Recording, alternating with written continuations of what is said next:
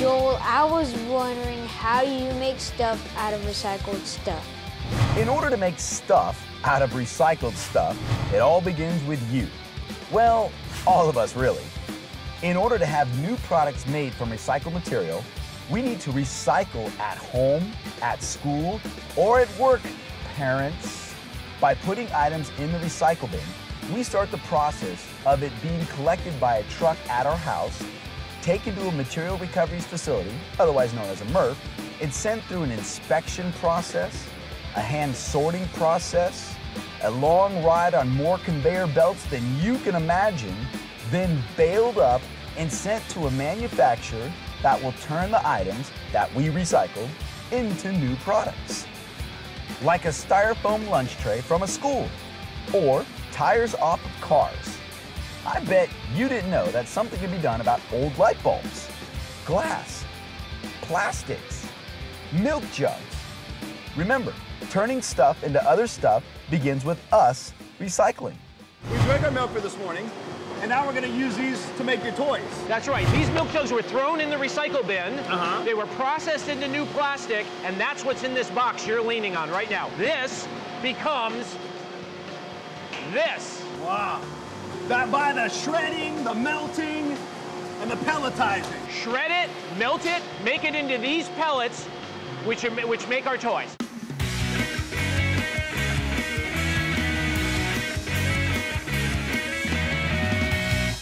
I would have no clue. If you would have handed this to me and said, look at this picture frame, look at the great woodwork that we have here, I would have Thought it was wood.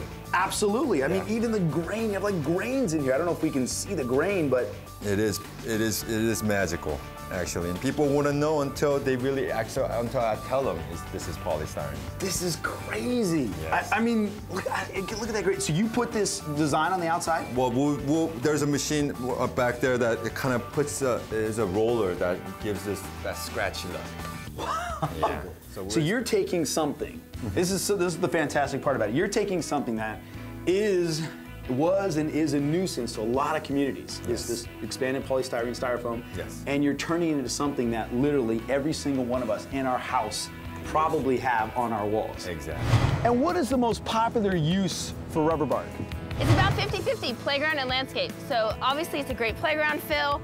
It has an excellent fall safety rating. So if kids fall in it, they just bounce right off of it. But wow! also for I did. I had a little bit of bounce right there. I'm just I'm practicing here.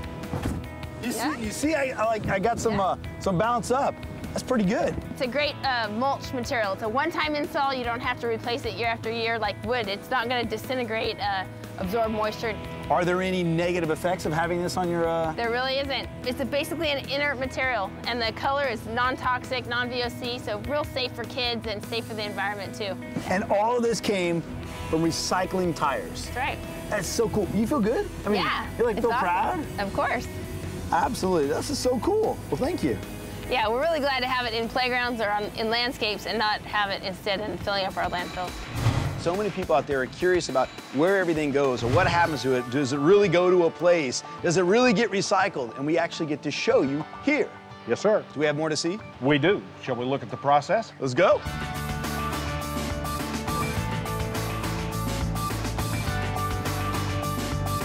At the very end, we wind up with the glass. And as you can see, instead of being white now, the glass is quite clear.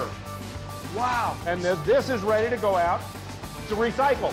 And that very short assembly line, we've taken a full tube of glass, broken it, removed all the mercury from it, separated the glass, the metal, what else? Plastics. And the plastics, And now we have the mercury gone, the metal gone, most of the plastic gone, it looks Right. like.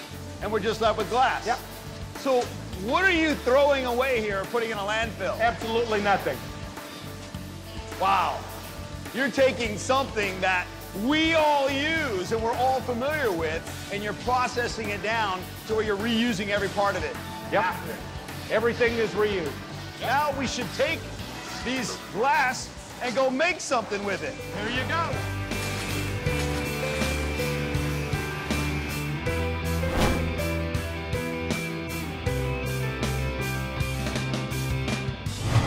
Worms help the whole planet. Instead of taking all the trash, putting it in the landfill, the worms eat it, turn it into worm castings, which is an excellent plant food and, it, and it's all natural, organic. In Yeah. a hungry world, you got food for plants and you're not wasting everything, burying it in the landfill. By us taking grass clippings and food from our houses or food from school cafeterias or wherever the food comes from, these worms are going to They convert it into plant food and look, it's, the plants speak for themselves out here and, and everybody that tries them knows that it really works good. Plus, we're not wasting, took Mother Nature a long time to make all this stuff. Instead of burying it in the landfill, nobody gets any benefit out of it. Yeah. And this way, everybody uh, benefits from it. I'm here with John Davis. Now, John, tell us why is it so important to recycle?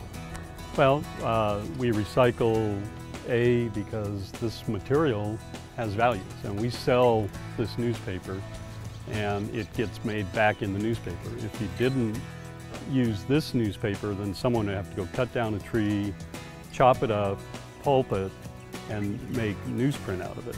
All of that early chopping, pulping is already taken care of. So there's already the energy in here, plus you're keeping trees in place in, in the forest.